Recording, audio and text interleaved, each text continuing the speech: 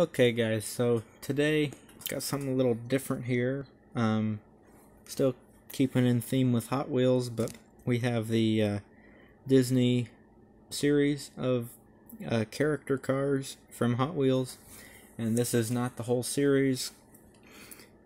For a while, I was buying the whole series of these, and then I was like, you know what? It's kind of silly to buy a whole series of them because some of them I didn't really care for. Um, so um, three of the four that I have here will be opening.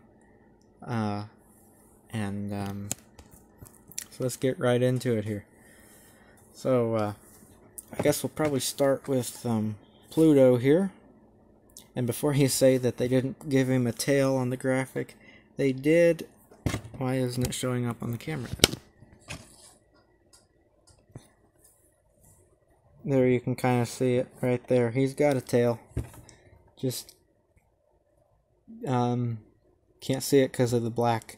But obviously this is Pluto. And then this is the character car for Pluto. Kind of like, um, not really a station wagon. I, I can't think of the word that I'm looking for here. Uh, I'll come up with it. But, um, anyway, just kind of a cool looking car. I'm gonna call it a station wagon for lack of a better term. And there's the uh, back of it there. Like a, a sedan delivery is what I was trying to think of. I knew the word would come to me. The reason I say that, a lot of the old uh, delivery sedans, even though they were titled as a delivery sedan, they only had two doors and then the um, window was paneled out with just a big metal panel. I don't think paneled out is a word, but whatever. Well, we might, good grief, we might open this up. That made a loud pop.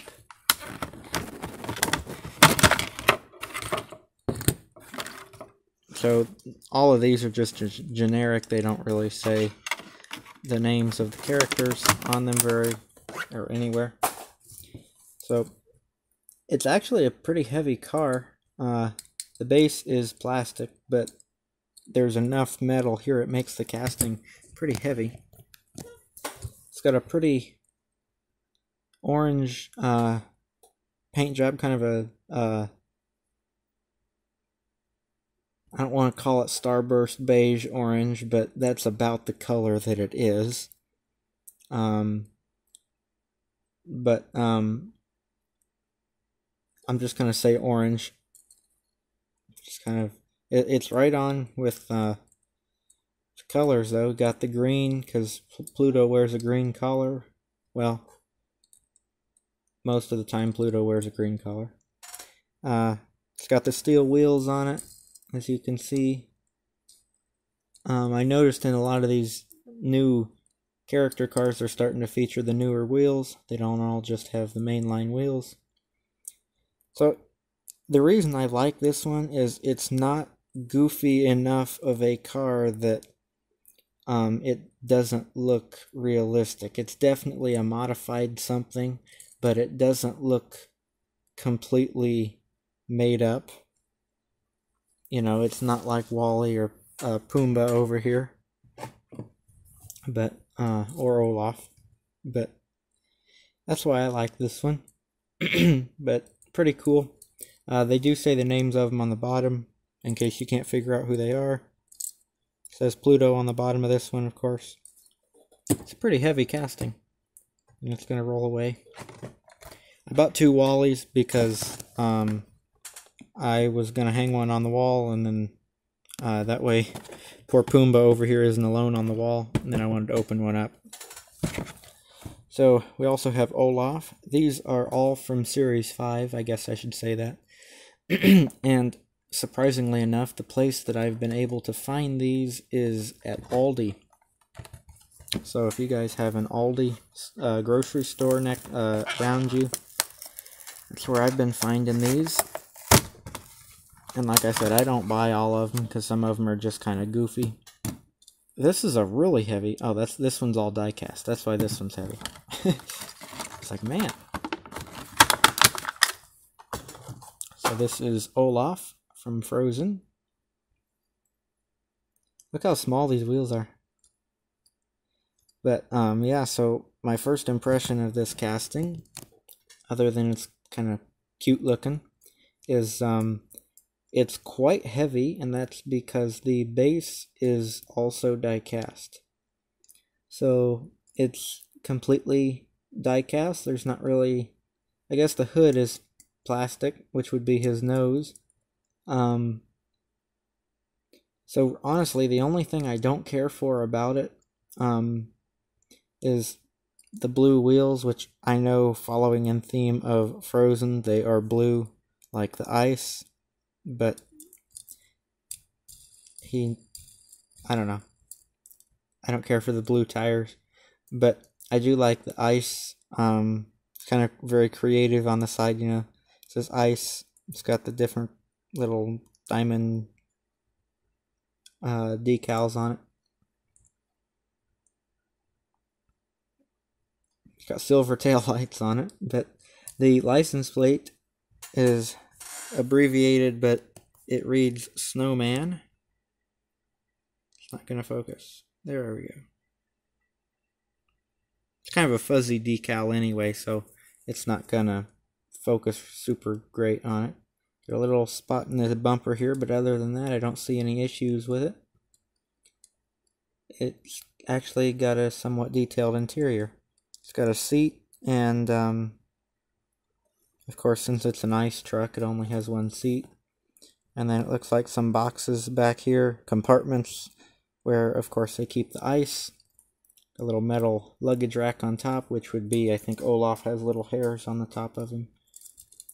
And the plastic part is a hood that does not open. It'd be kind of cool if it opened. I don't know what would be inside it, but it'd be cool if it opened. Uh, there's little buck teeth there. And, uh, you know what? I said there's no plastic on this, but I think the fenders and bumper here are plastic because I just noticed that tooth is plastic. But the base and the body are die cast, so it's still pretty heavy casting. It says Olaf down there. And uh, we'll go to WALL-E next. WALL-E from WALL-E, of course. And um, got his little picture there, of course. And then they were pretty creative with this one too. Um, you know, I mean, and the reason that it, it impresses me with um, WALL-E is because WALL-E is uh, a machine himself. You know, like he's a robot. They glue these down really well.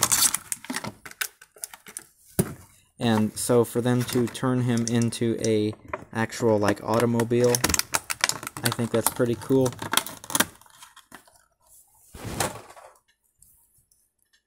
So WALL-E is mostly diecast. Um,